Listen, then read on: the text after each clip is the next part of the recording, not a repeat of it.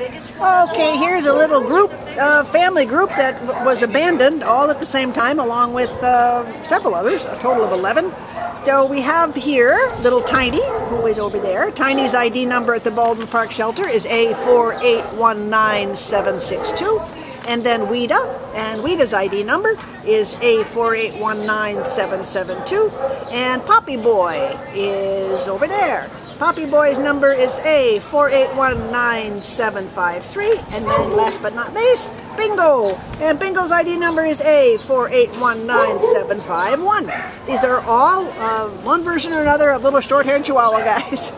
Let's see, Tiny is a little boy, Weed is a little girl, Poppy Boy little boy, and Bingo's a little boy. Does anybody want to talk about their personalities? How are they? It's just such a group. They're very bonded. yeah. When Poppy Boy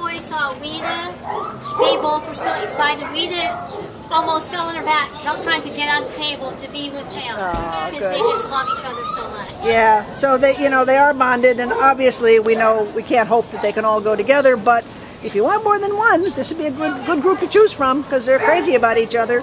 And uh, did I say the ages? Let's see, five. Let's see, Tiny's about five, Weda's younger, about two, as is Poppy Boy, and Bingo is also about five.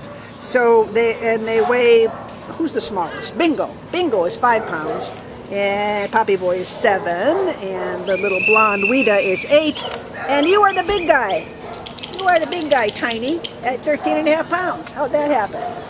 So come on down and meet one or all of this darling group. They need some help because they've been dumped all together, and they all need a place to, to, to lay their little heads. So come on down to the Baldwin Shelter and meet one or all of them. So long, guys, guys and girls. Bye.